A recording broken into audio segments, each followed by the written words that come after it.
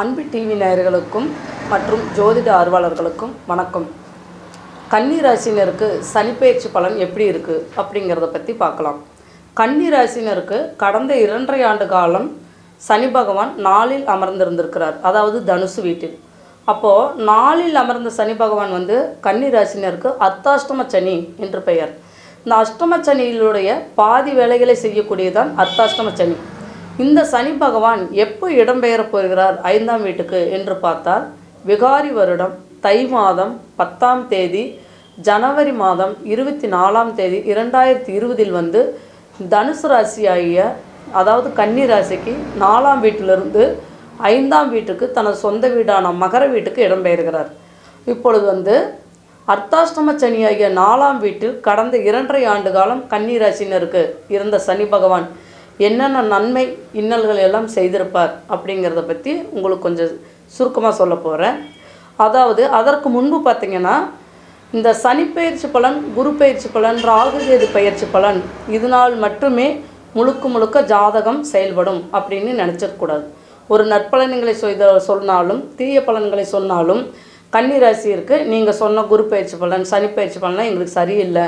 அப்படிங்கிறத நிறைய பேர் கருத்துக்கள் சொல்கிறீங்க சரி பேர் நிறைய பேர் சரியாக இருக்குன்னு சொல்கிறீங்க அது எதனால சரியாக இருக்குது சரியில்லை அப்படின்னா அவர்களுடைய ஜனன ஜென்ம ஜாதகம் வந்து அவங்க ஜாதக கட்டங்களும் அவர்களுடைய திசாபுத்திகளும் நல்லபடியாக இருந்து இந்த கோச்சார கிரகம் சனி ராகு கேது பயிற்சி குரு பயிற்சி பலன்கள் நன்மையாகவே அமைந்தால் நாங்கள் சொல்லக்கூடிய பலன்கள் வந்து அவர்களுக்கு நூறு பர்சன்டேஜ் சிறப்பாக இருக்கும்.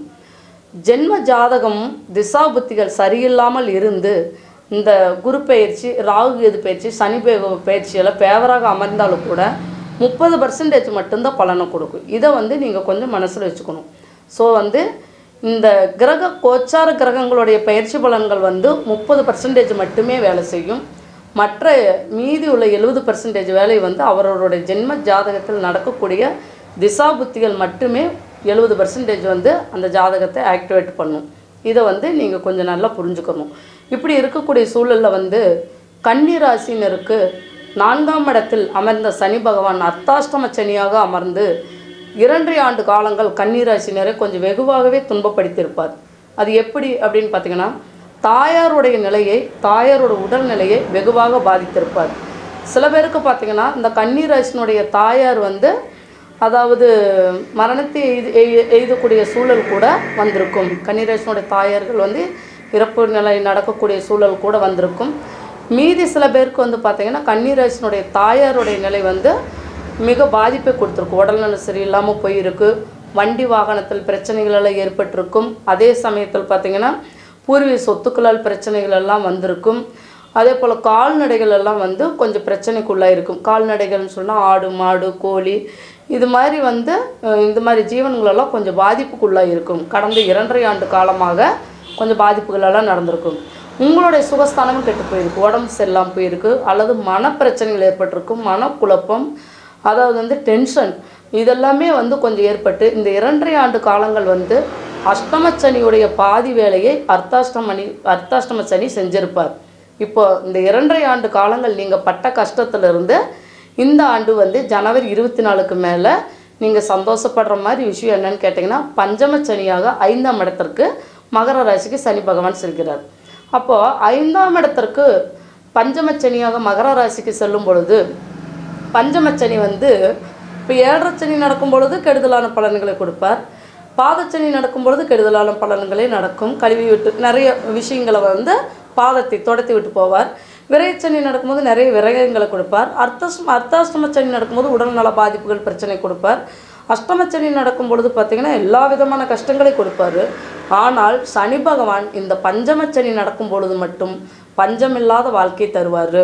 அப்போது போன ஆண்டுகள் வந்து வண்டி வாகனத்தால் உங்களுக்கு இருந்த பிரச்சனைகள் எல்லாம் முடிவுக்கு வந்து இந்த ஆண்டுகள் வந்து வண்டி வாகனம் வீடு நிலம்புலங்கள் வாங்கக்கூடிய ஒரு அமைப்பு ஏற்படும்.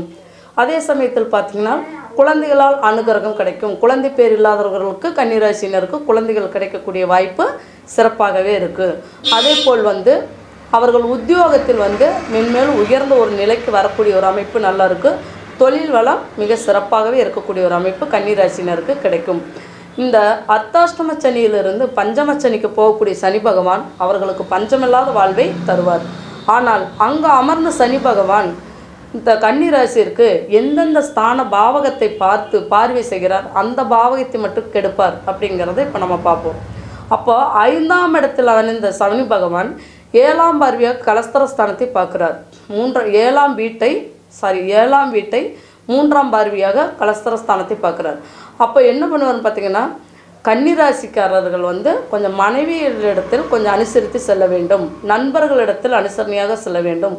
கூட்டு தொழில் இருப்பின் அதை கொஞ்சம் பிரித்து கொள்வது ரொம்ப நல்லது. கூட்டு தொழில் செய்யாமல் இருப்பது ரொம்ப நல்லது. சமுதாய அந்தஸ்தில் ஏதாவது அரசியல் அரசாங்க சம்மந்தப்பட்ட வேலைகளில் இந்த வருஷம் கொஞ்சம் இறங்கி வேலை செய்யாமல் இருக்கிறது மிக மிகுந்த நற்பலனை கொடுக்கும்.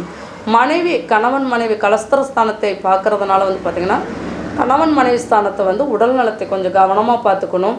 அவர்களிடத்தில் வாக்குவாதம் செய்து கொள்ளாமல் இருப்பது மிக மிக அவசியம்.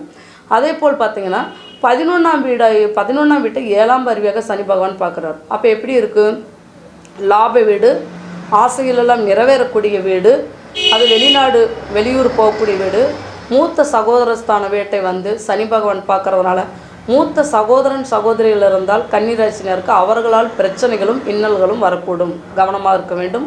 வாக்குவாதம் எல்லாம் வரக்கூடிய சூழல் ஏற்படும்.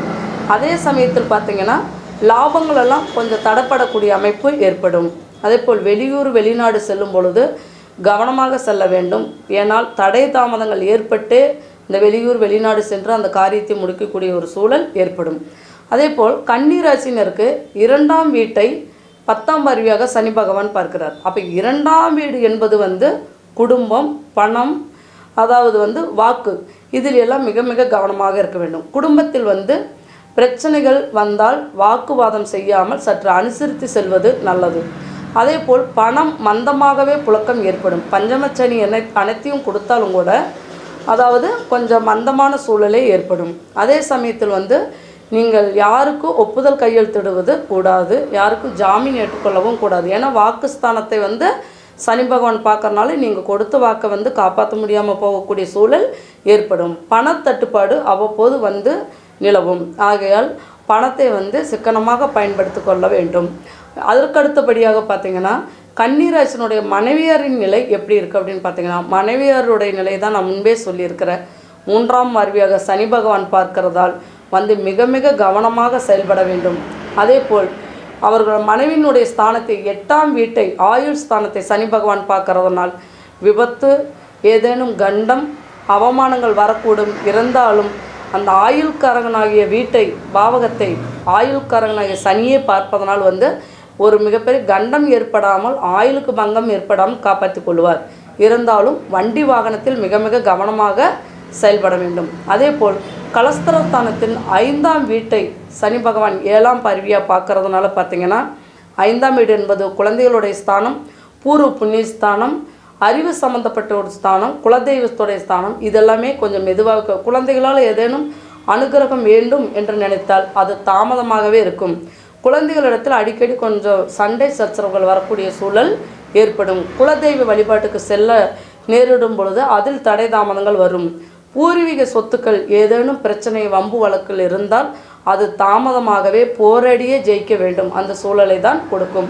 அதே போல் வந்து இந்த கலஸ்தர ஸ்தானத்திற்கு ஐந்தாம் வீடாகிய பாட்டனார் ஸ்தானத்தை பார்க்கறனால தாத்தா பாட்டன் பாட்டி இந்த வழியில் கொஞ்சம் பிரச்சனைகள் வரக்கூடும்.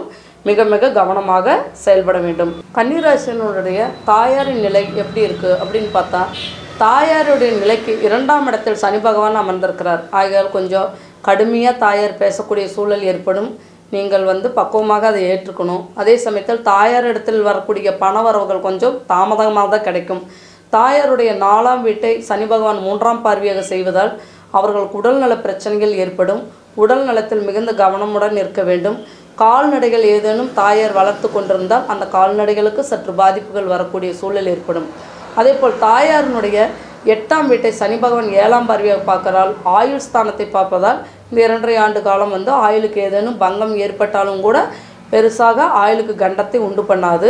அதே போல் வண்டி வாகனம் அவமானம் விபத்துகள் வரக்கூடும். கொஞ்சம் கவனமாக இருக்கணும். அதே போல் தாயாருடைய வீட்டை லாப வீடாகிய பதினொன்றாம் வீட்டை பத்தாம் பார்வையாக சனி பகவான் பார்க்கிறதால் லாபங்கள் எல்லாம் சற்று குறைவாக வரக்கூடிய சூழல் ஏற்படும். தாமதமாகவே இருக்கும். வெளிநாடு செல்லக்கூடிய அமைப்பு இருக்கவர்களுக்கு தாமதமாகவே செயல்படக்கூடிய ஒரு அமைப்பு ஏற்படும். அதேபோல் வந்து தொழில் தாயாரின் பேர் இருந்தால் சற்று முடக்கம் ஏற்பட்டு கொஞ்சம் போராடி தான் லாபம் சம்பாதிக்கணும் அப்படிங்கிற ஒரு காலகட்டம் இருக்கும். கன்னிராசினருடைய தகப்பனார் நிலை எப்படி இருக்குன்னு பார்த்தீங்கன்னா தகப்பனாருடைய ஸ்தானத்திற்கு ஒன்பதாம் வீட்டில் சனி பகவான் அமர்ந்திருக்கிறார். பாக்கியாதிபதி ஸ்தானத்தில் சனி பகவான் அமர்ந்ததனால் அவருக்கு கிடைக்கக்கூடிய பாக்கியம் எல்லாம் கொஞ்சம் தாமதம் ஏற்பட்டாலும் நல்லபடியாகவே கிடைக்கும். அதேபோல் தனது பதினொன்றாம் வீட்டை சனி பகவான் பார்க்கறதால் தகப்பனார் பேரில் தொழில் செய்து கொண்டிருந்தாலும் தகப்பனாரால் வரக்கூடிய லாபங்கள் எல்லாமே தாமதம் தடை தாமதம் ஏற்படும். மூன்றாம் வீட்டை சனி பகவான் ஏழாம் பார்வையாக பார்க்கறனால தகப்பனாருடைய இளைய சகோதரன் சகோதரி ஸ்தானம் இருந்தாலும் அதில் தடைகள் வரக்கூடும் சண்டை சச்சரவுகள் பிரச்சனை வரக்கூடும் கவனமாக இருக்க வேண்டும். சிறு சிறு பயணங்களால் வந்து சண்டை சச்சரவுகள் ஏற்படக்கூடும். தகப்பனார் வந்து செய்யக்கூடிய முயற்சிகள் எல்லாமே வந்து சற்று தாமதம் ஏற்பட்டு இறுதியில் வெற்றி கிடைக்கக்கூடிய வாய்ப்பு கிடைக்கும். அதே சமயத்தில் தகப்பனாருடைய ஆறாம் வீட்டை சனி பகவான் பார்க்கறதுனால பார்த்தீங்கன்னா தகப்பனார் வந்து உடல் நலத்தில் மிக மிக கவனமாக செயல்பட வேண்டும். உடல் நலம் கெடக்கூடிய வாய்ப்பும் அதேபோல் எதிரிகளால் வம்பு வழக்குகள் பிரச்சனை சந்திக்கக்கூடிய வாய்ப்பும் இருக்கிறதுனால வந்து தகப்பனாருடைய ஸ்தானம் வந்து மிக மிக கவனமாக தகப்பனார் வந்து செயல்பட வேண்டும். கன்னிராசினுடைய குழந்தை ஸ்தானத்திலே சனி பகவான் அமர்ந்திருக்கிறதுனால பார்த்தீங்கன்னா அவங்க வந்து நல்லா இந்த வருஷம் நல்லா சிறப்பாக செயல்படக்கூடியதாக இருக்குது. இருப்பினும் அவர்களுடைய முயற்சிகள் சற்று தாமதம் ஏற்பட்டே நடக்கும். கவலைப்பட வேண்டாம். அதே சமயத்தில் ஏழாம் வீட்டு ஏழாம் பார்வையாக பார்க்கறனால அவர்களுடைய குழந்தைகள் வந்து நட்பு வட்டாரங்கள் கூட்டு தொழில் செய்பவராக இருந்தால் கூட்டு தொழில் கவனம் இருக்க வேண்டும். அதே போல் பத்தாம் வீட்டை பத்தாம் பார்வையாகவே சனி பகவான் பார்க்கனால் வந்து அவர்கள் தொழில் அதாவது கன்னிராசினருடைய குழந்தைகள் ஏதேனும் தொழில் செய்து கொண்டிருந்தாலோ உத்தியோகத்துக்கு செய்து கொண்டிருந்தாலோ அந்த உத்தியோகத்தில் சற்று பிரச்சனைகளும் வம்பு வழக்கு வரக்கூடும் கவனமாக செயல்பட வேண்டும். தொழில் செய்து கொண்டிருப்பவர்கள் இந்த இரண்டரை ஆண்டுக்குள் ஏதேனும் மாற்றுத் தொழில் ஏற்படக்கூடிய ஒரு அமைப்பு வரும். மிக மிக கவனமாக செயல்பட வேண்டும். எனவே கன்னிராசி நேயர்கள் வந்து இந்த வருடம் வந்து இருப்பினும் இந்த இரண்டரை ஆண்டு காலங்கள் வந்து கன்னிராசி நேயர்களுக்கு பஞ்சமச்சனி என்பதால் வீடு மாறக்கூடிய சூழல் வீடு எதிர்பார்க்கக்கூடிய அளவுக்கு கிடைக்கக்கூடிய சூழல் ஏற்படும். சொந்த வீடு வாங்கக்கூடிய ஒரு அமைப்பு ஏற்படும். காரு வண்டி வாகனம் வாங்கக்கூடிய ஒரு அமைப்பு ஏற்படும். மனைவி வகையில் வந்து ஏதேனும் சொத்துக்கள் பணவரவுகள் இதெல்லாம் ஆதாயம் கிட்டக்கூடிய ஒரு அமைப்பு ஏற்படும். உத்தியோகத்தில் வந்து நல்ல ஒரு வருமானம் கிடைக்கக்கூடிய ஒரு அமைப்பும் சிறப்பாகவே இருக்கிறது. எனவே கன்னிராசி நேயர்கள் சனிக்கிழமை தோறும் ஆஞ்சநேயர் வழிபாடு செய்து கொள்வது வெற்றிலை மாலை போட்டு ஆஞ்சநேயர் வழிபாடு செய்து கொள்வது மிக மிக சிறப்பு. அதே போல் கன்னிராசி நேயர்கள் வந்து கல்கண்டு பிரசாதமாக ஆஞ்சநேயர் வழிபாடு செய்துவிட்டு கல்கண்டு பிரசாதமாக கொடுப்பது மிக மிக அற்புதமான பலனை தரும். அதே போல் காகத்திற்கு அவர்கள் சாதம் வைத்து பின்பு சாப்பிடுவது மிக சிறந்த நற்பலனை தரும். நாய் பூனை போன்ற நா நாட்கள் மிருகங்களுக்கு வந்து இவர்கள் உணவு கொடுப்பது அதாவது பசுவுக்கு அகத்திக்கீரை கொடுப்பது நாய் போன் பூனை போன்றவர்களுக்கு பிஸ்கட்டோ சாதம் இது மாதிரி கொடுப்பது வந்து இவர்களுக்கு மிகுந்த நற்பலனை கொடுக்கும். ஏன்னால் பஞ்சமச்சனி நடக்கக்கூடிய காலமாக இருப்பதால் இவர்கள் வந்து கால்நடைகளுக்கு உணவளிப்பது வந்து இவர்களுக்கு மிகுந்த சிறந்த நற்பலனையே கொடுக்கும். அதே போல் வந்து ஊனமுற்றவர்களுக்கு கால் கை ஊனமுற்று இருப்பவர்களுக்கு இவர்கள் வந்து தானம் அதாவது சனிக்கிழமை தோறும் உணவு தானமாக குடித்து வருவது வந்து இவர்களுக்கு மிகுந்த நற்பலனை கொடுக்கும்.